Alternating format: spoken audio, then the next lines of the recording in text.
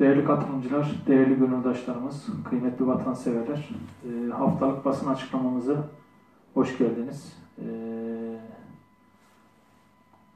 son basın açıklamamızdan sonra e, yaptığımız parti içi çalışmalarla ilgili sizlere birkaç bilgi verip diğer gündem maddelerine geçmek istiyoruz. Geçtiğimiz Cuma günü Kolombiya Büyükelçiliği ile görüştük. Bu salı günü, bugün itibariyle Karadağ Büyükelçiliği ile görüştük. E, birlikte neler yapabiliriz? Ülkelerimiz arasındaki demokrasiyi nasıl geliştirebiliriz? Bunları görüştük.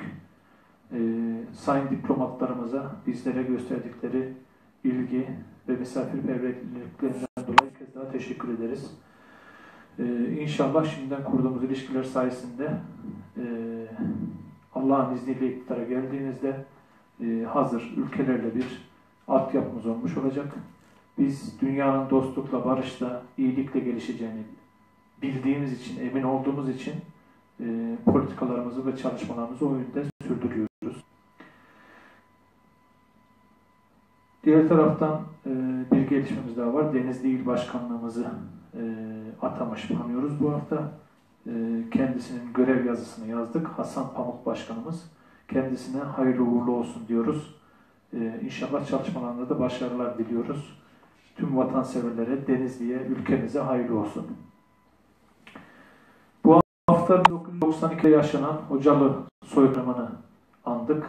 26 Şubat tarihinde. Ee, Birçok vatansever şunu bilmiyordur. Ülkemizde halen Hocalı soykırımı soykırım olarak kabul edilmiş değildir maalesef. Ee, bunu buradan bir kez daha hatırlatalım biz. 1992'den beri 25 yıl geçti. Bu 25 yıl boyunca geçen bütün iktidarlar ve meclislerin hiçbiri e, Hocalı'daki soykırımı soykırım olarak kabul etmediler. E, yetkililerine geçtiği halde bunu yapmadılar. Biz ise Cihan Partisi olarak e, öncelikle tüzüğümüzde Azerbaycan'da açacağı temsilciliklere, bölgelere Karabağ ve aynı zamanda Hocalı'yı da ekleyen şu an tek partiyiz. Tek parti Cihan Partisi. Bunun anlamı şudur. Hocalı ve Karabağ Azerbaycan'a aittir diyoruz. Şu an işgal altında Karabağ özellikle. Azerbaycan'a ait diyoruz. Bunu resmi olarak tüzüğümüze yazarak bunu ifade ediyoruz. Diğer taraftan e, yine parti programımızın programımızın son maddesinde e, Hocalı soykırımını dış politikalar, dış ülkelerle ilişkiler kısmında, başlığı altında yapacağımız çalışmalara şunu da ekledik.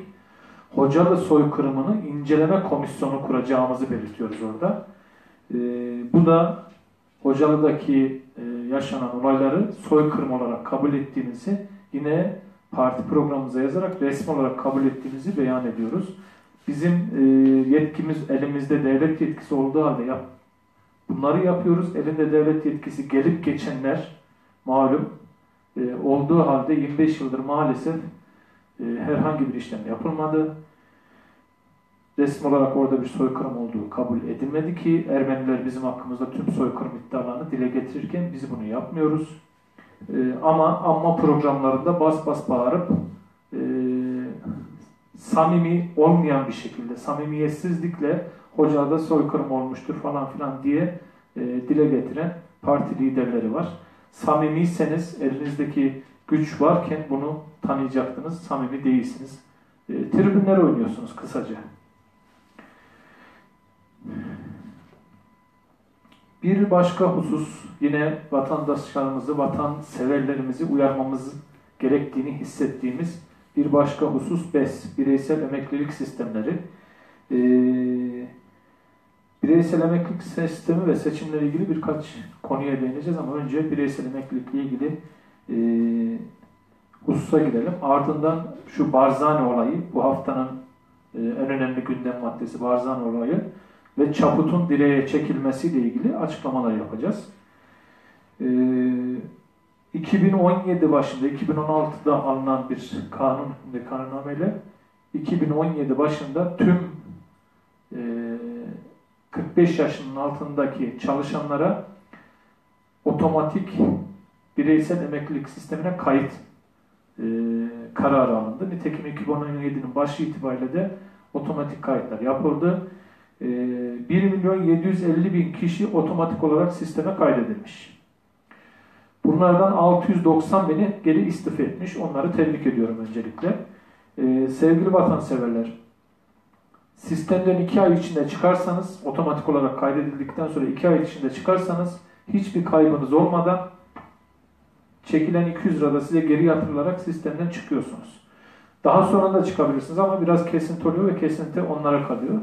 O nedenle e, bir an önce ayrılacaklar, bir an önce ayrılması kayıp, herhangi bir kaybı uğramamalarına sağlayacaktır. Burada e, ilk iki ay içerisinde e, BES sistemine niye bu şekilde girdim? Değerli vatanseverler, samimi bir şekilde bazı şeyleri anlatacağım size. BES'lerin hiçbir yatırımı yok. Hiçbir malı mülkü yok. Üzerlerine araç yok. BES işleten sistemlerin. Eğer sizin bir fabrikanız yoksa, yatırımınız yoksa, malınız, mülkünüz yoksa para nereden kazanılır? Sizi nereden nemalandıracaklar size o parayı vermek için? Tamamıyla faizli sistem. Yani size diyor ki, sizin diyor, e, siz ben faiz faizi haram görmeyen, faizi olağan karşılayan vatanseverler için de konuşuyorum aynı zamanda. Vatanseverin aklı yok mu? Gidip bir bankayla anlaşıp yapamıyor mu? Veyahut da gidip herhangi bir BES firmasıyla anlaşıp bireysel emeklilik vaat eden bir firmayla anlaşıp oraya parasını yatıramıyor mu? Pekala yatırabilir. Ee, yok sen bilmiyorsun, sen dur otomatik buraya kaydedelim diyorlar. Hatta sistemlere, BES sistemine üye olan kişileri dahi sisteme tekrar üye etmişler.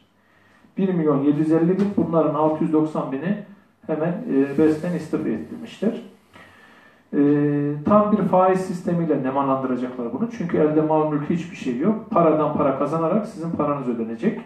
Burada e, parayı aksi takside nasıl büyütüp size verecekler, nemalandıracaklar? Ancak paradan para üreterek olur. Diğer taraftan vaat edilen gelirin, hani devlet katkısı deniyor ya %25. Vaat edilen gelirin önemli bir kısmı da devlete yüklenmiş oluyor.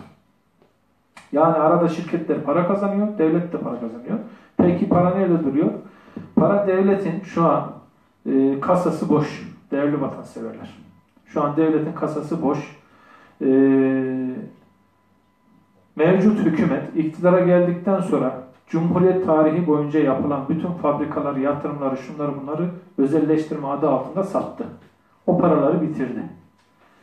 Diğer taraftan döndü. Ha şunu diyebilir herkes. Ya yol yapıldı yok. Asfalt 1 liraysa 3 liraya yapıldı. Biz yapılmadı demiyoruz. Orada da bir farkı var Cihan Partisi'nin. Asfalt 1 liraysa 3 liraya yapıldı. Köprü 2 liraysa 5 liraya yapıldı. Şu an bütün Ankara'dayız biz. Gözümüzle görüyoruz, biliyoruz. Bütün hemen hemen bakanlıklar kirada oturuyor. Ya düşünebiliyor musunuz? Devlet kendi ülkesinde, kendi toprağında kirada oturuyor. Kime veriyor bu kiraları? Kime verdiği belli değil. Kim nemalanırsa, kim e, bal tutarsa o yalamaya başlıyor parmağını. Şimdi o paralar bitti. Ardından kendi e, iktidarı döneminde topladığı bütün e, kaynakları, mali kaynakları tüketti. Şimdi de bu sistemle geleceğe dönüp borçlanma yapıyor. Mali kaynak oluşturmak zorunda. Yani bizi bitirdi, bizden önceyi bitirdi, bizleri bitirdi. Şimdi çocuklarımızın, torunlarımızın dönemine dair borçlanma yapıyor devlet. Şu andan 6 milyar dolar 6 e, milyar liraya ulaşmış. Gelecekte devletin borcu, değerli vatanseverler.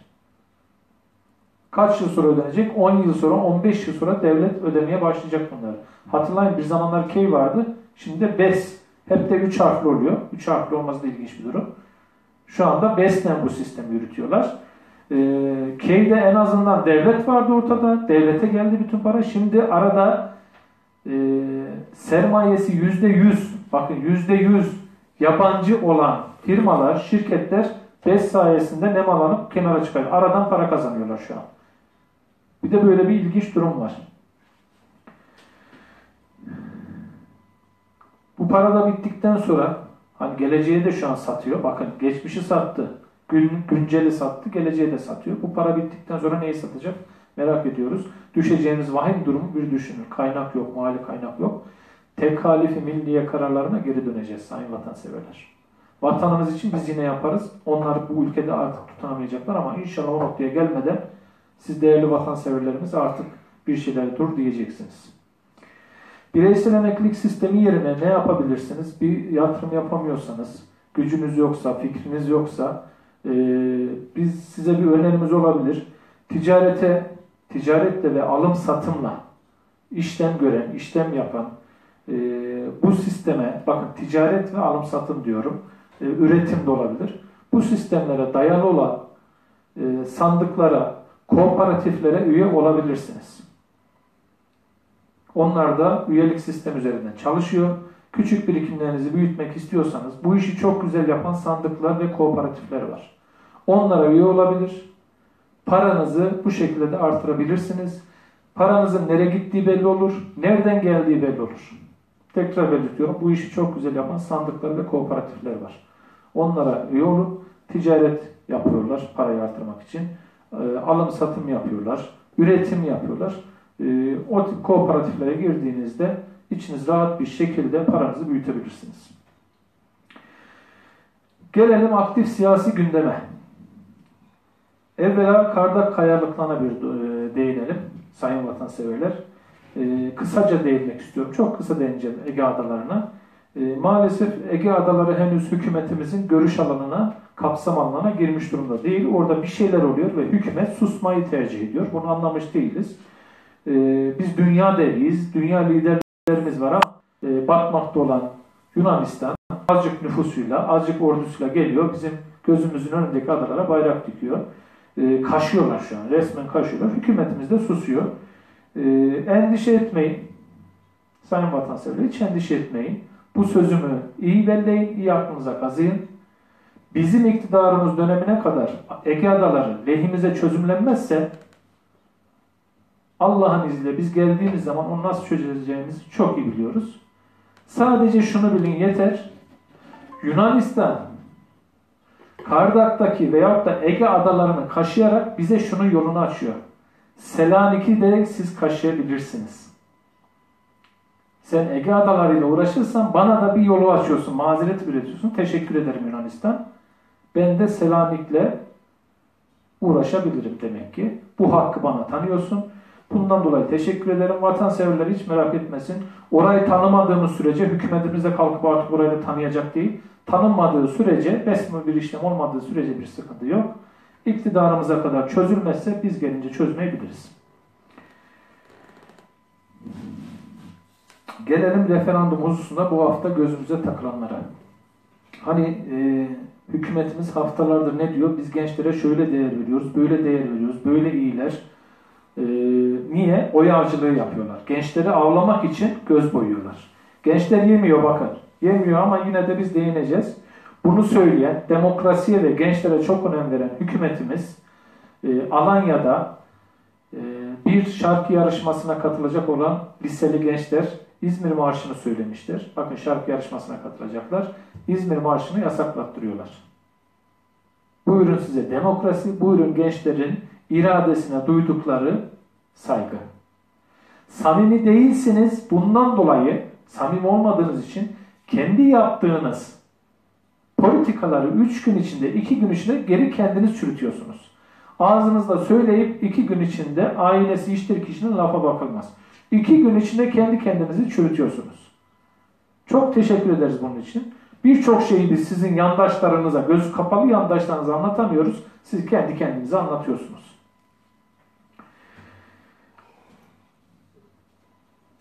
Suriyelilere vatandaşlık verildiğini gördük.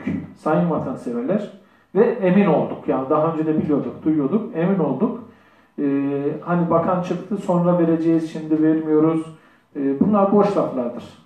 Ee, sayın vatanseverler. Şu an verilmektedir.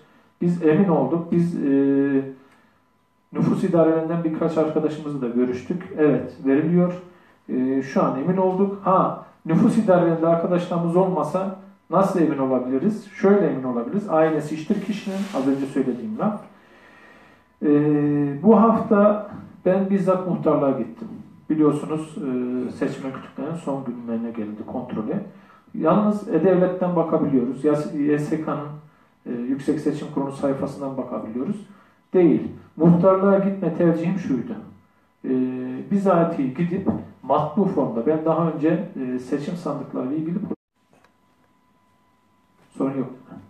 Matbu formla ilgili olarak yani muhtarlığa gelen e, seçim kütüklerinin e, listesini matbu olarak orada basılı evrakta görmek istedim. Yanımdaki komşum kim, fazladan isim yazılmış mı, benim evime yazılan biri var mı diye tahmin edin neyle karşılaştık. Bugüne kadar, bugüne kadar gelen listelerin tamamı bugüne kadar tüm seçimlerde adrese dayalı olarak geliyordu. Sayın vatanseverler, adrese dayalı olarak geliyordu. Bu sefer soy adına dayalı bir liste yapılmış ve gelinmiş. Bunun anlamı şu kısaca. Kesinlikle ama kesinlikle adres kontrolü yapamıyorsunuz. Komşunuzun üzerine kimler yazılmış, kimler var binada göremiyorsunuz. Kendi binanızda, kendi evinizde kimler var kontrol edemiyorsunuz. Çünkü birinin soyadı bir yere yazılmıştır. Tüm listeyi binlerce sayfa var, binlerce isim var, yüzlerce sayfa var. Tüm listeyi oturup tek tek kontrol etmeniz gerekiyor. Buna ne zaman, ne mekan, ne de muhtar izin verir. Ne de muhtar izin verir. Çünkü herkesin gelip kendi evini kontrol etmesi gerekiyor. Bunun farkı ne? Tekrar belirtiyorum. Matbu formda, matbu basılı listelerde bunu görmek istedim olmadı. Yani diyor ki soyadına göre biliyorsan yakalayamazsın tabii ki mümkün değil. Büyük gitme. Belki benim evime bile şu an e, dışarıdan başka seçmenler yazıldı. Ve bu kişilerin isimleri de yabancı olacağı için çok dikkat çekeceği için soyadına dayalı sisteme geçildi. Eğer böyle değilse eğer böyle değilse şu an YSK çıkıp açıklama yapmalıdır. Niye bugüne kadar adrese dayalı sistemle, adrese dayalı e, bilgilerle listeler gelirken bu seçimde soyadına döndüklerini açıklamalıdırlar.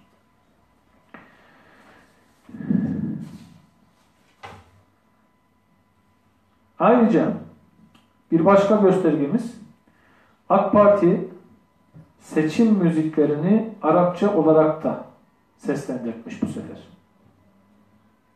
Daha önce var mıydı? Yoktu. Bu ülkede kaç milyon tane seçmen var Arapça konuşan? Yani Türkçeden anlamayan ve Arapça konuşan kaç milyon seçmen var? Yok. Ee, demek ki artık ne kadar Arap'ın peşindeyse, Suriyeli Arap'ın peşindeyse müziği bir de Arapça olarak bastırmış. Arapların da oyunu alabilmek, devşirebilmek için e, ne kadar vatandaş devşirildi biz bilmiyoruz şu an. Bu konuda net olarak daha önce dile getirdik, sosyal medyadan da dile getirdik. Net olarak belirtiyorum. Ee, kendi vatanlarına sahip çıkmayan, genciyle, yaşlısıyla, kadınıyla, erkeğiyle bakın. Gençleri de burada. Kendi vatanına sahip çıkmayıp da bizim ülkemize gelen ve bizim ülkemizde onlara vatanseverlik verilen kim varsa bunlar belli. Ne zaman verildiği belli. TC numarası belli. İktidara geldiğimizde bir hafta içinde bakın bir hafta içinde o vatandaşlıklar iptal edilecek. Ve şu an parti programımızda Suriye politikamız bellidir. Doğrudan Suriye politikamızı uygulamaya başlayacağız. Nasıl mı? Devlet güvencesinde Suriye devlet otoritesiyle yapılacak düzgün, adam akıllı, komşu barışıyla ülkelerine geri göndermek. Bir hafta içinde bu vatandaşlıkların tamamı iptal edilecek. Bizim gençlerimiz iş bulamıyor. 12 milyona çıkmış işsizlik. Kaç milyon e, gencimiz işsiz. Gelmişler bizim ülkemizde. Bakın hunharca bir meseleden bahsetmiyorum. Kendi iç işlerini çözersin. Kendi gencini çalıştırırsın, okutursun. Hiç açın olmaz. Hiç mazlumun kalmaz. Sonra başka devletlerin ülkesini, vatandaşlarını kalkar beslersin insanlıktır. Bizimki insanlık değil. Bizimki insanlık değil. Kusura bakmayın. Eğer insanlıksa önce kendi insanlığı yap bu insanlığı. Samimiyetsizlik, oy devşirme. Çünkü Türkiye'de oylar giderek aşağı düşüyor. Ne yapacak? Suriyeliler alacak ki oy çıksın. Oy çıksın. Onlar da bitince Gürcüleri alacağız demek ki. Ondan sonra İranlara döneceğiz. Yunanistan, Bulgaristan gideriz artık. Bu şımarıklığa bakın sayın vatanseverler herkesin yüreği sıkılıyor. Bu şımarıklığa artık kendi yandaşları da dahil olmak üzere bu kibre bir dur demelisiniz artık. Bu kibre bir dur demelisiniz.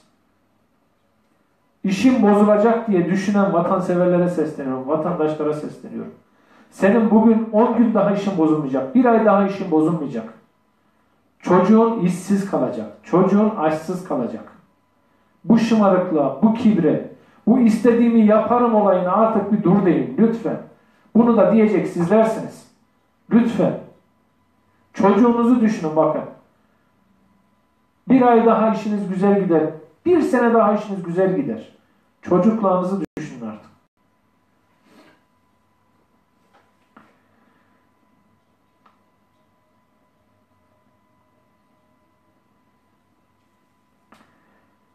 Evet. Barzan ile ilgili gündemimize gelelim. Eskiden bazı şeyleri sıkıla utana yapardılar. Ee, zor açıklarız diye böyle sıkıla. Artık o kadar rahatlar ki, o kadar bir hak vermişiz ki bunlara. Ee, maalesef çok çok rahat bir şekilde değerlerimize dalga geçecek şekilde, bütün değerlerimize dalga geçiliyor şu an. Barzani denen geçmişi karışık şahıs ülkemize geliyor en üst düzeyde başbakan ve cumhurbaşkanı tarafından karşılanıyor ve bunlarla görüşüyor. Bakın cumhurbaşkanıyla görüşüyor. Cumhurbaşkanıyla görüşüyor. Kim? Bölgesel bir kişi. Irak Başbakanı, Irak Cumhurbaşkanı değil.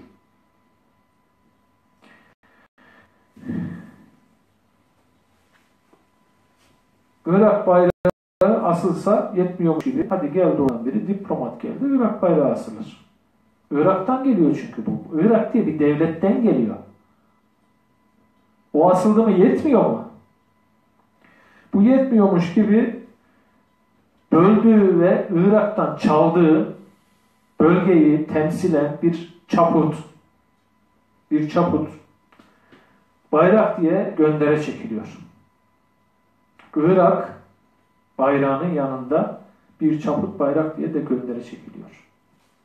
Hani sizin Irak olan saygınız? Hani devletler olan saygınız? Sıfır sorunu bu şekilde mi biz yapacağız? Bu şekilde mi? Alın size sorun. Sıfır bile değil. 99, 100 sorun bu. Barzani kim peki? Hatırlayın bakalım. Türkiye'ye kedi bile vermem diyerek bizi aşağılayan adinin biri. Şahıs bile demek istemiyorum. Şahıs olarak görmüyorum ben çünkü. Türkiye'ye kedi bile vermem dedi. Bunlar iktidardaydı yine. Bu kişiler iktidardaydı yine. Nasıl yuttunuz yaladınız onları? Hani dünya lideriydiniz?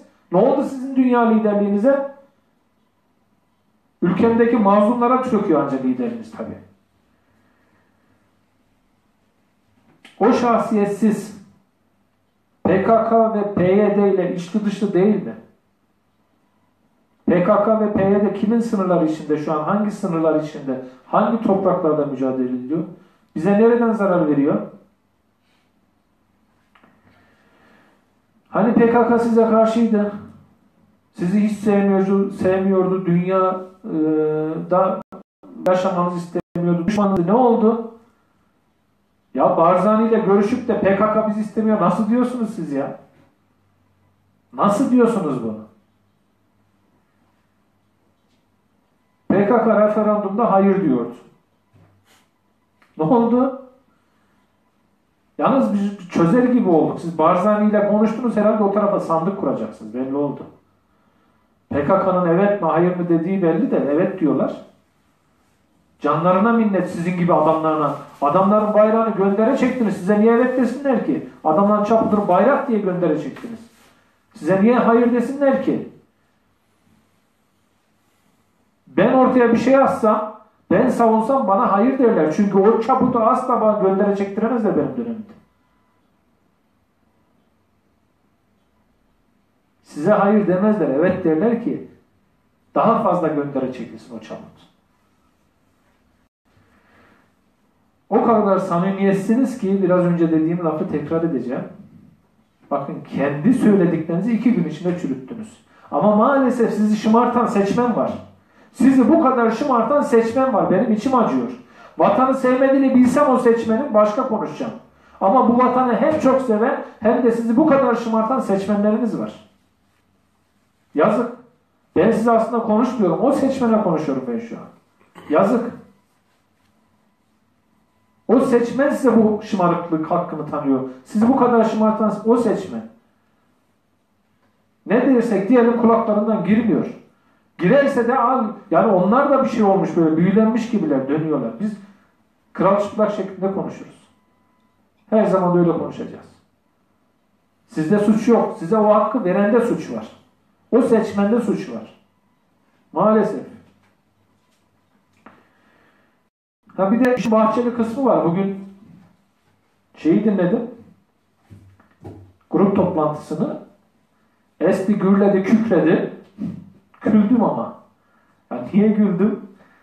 Ee, sorusu, soruyu da biraz uzun soruyor. Eklemeli böyle e, kelime eklerinden soruyor ki zor anlaşılsın. Ee, soruyu hatırlamaya çalışıyorum şu an.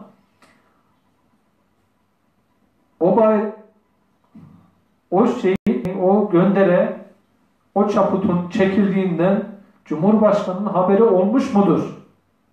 Cümle böyle, devrik, uzun, anlaşılmamalı ne sordu. Ya olmuştur Sayın Bahçeli, olmuştur.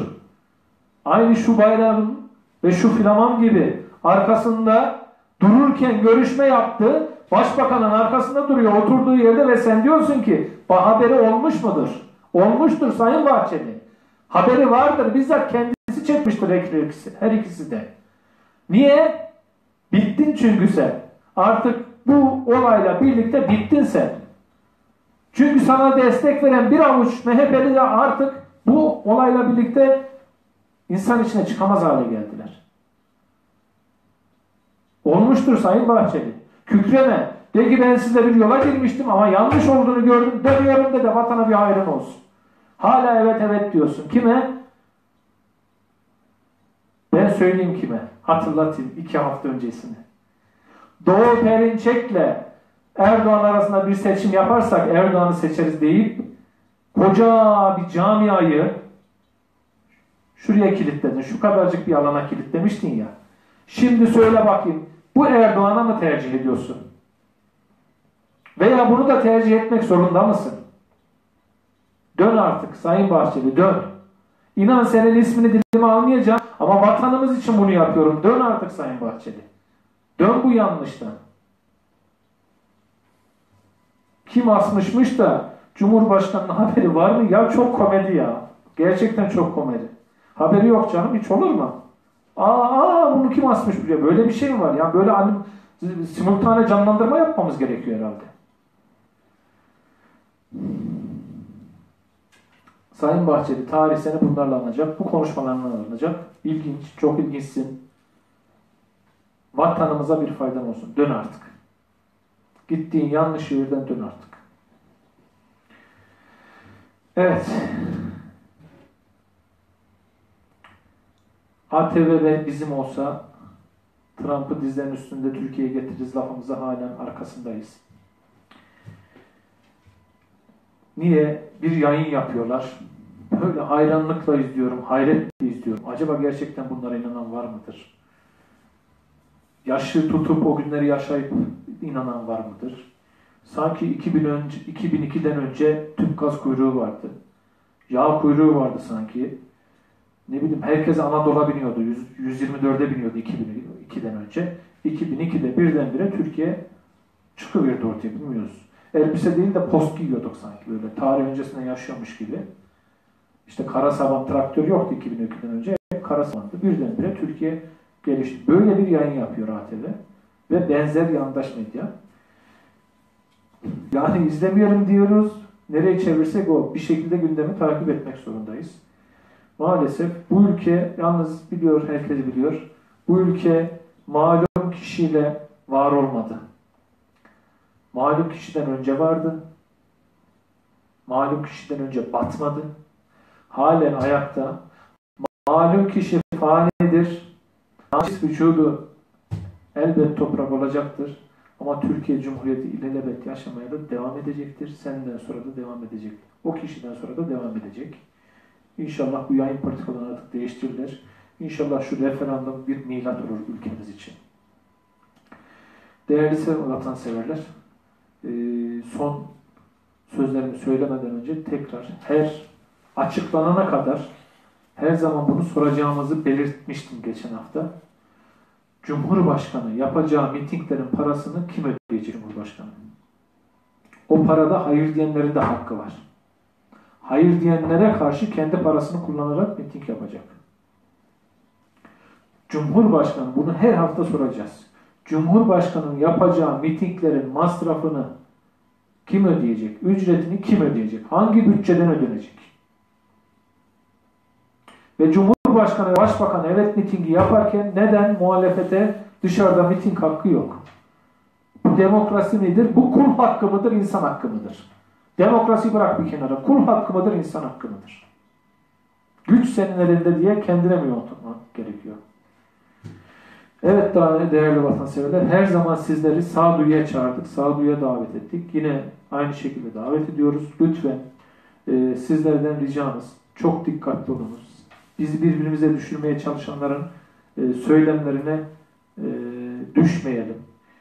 Kürtler ile ülkeyi, ülkemizi bölüp Kürdistan kurmak isteyenleri, MHP ve ülkücüler ile evet diyen makam düşkünlerini,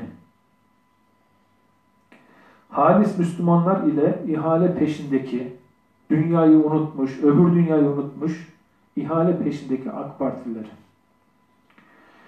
Vatansever CHP'li ve Cumhuriyetçi solcular ile zihniyeti bölücülüğe, terörizme kaymış solcuları bir tutmayın. Birbirinize yazı yazarken benzer özellikleri var diye bu da onunla aynıdır diye yazılar yazmayın. Birbirinizi kırmayın. Aranızda uçurumlar açılmasına izin vermeyin. Birinci grupta saydıklarım tüm hepsi vatanseverdir. Lütfen değerli vatanseverler, birbirimizin arasında uçurum açmalarına izin vermeyin. Bu ülkede su gider kum kalır. Kum sizlersiniz. Kum vatanseverlerdir. Kum bu ülkeye her zaman lazım. Lütfen dirayetimizi bozmalarına müsaade etmeyin.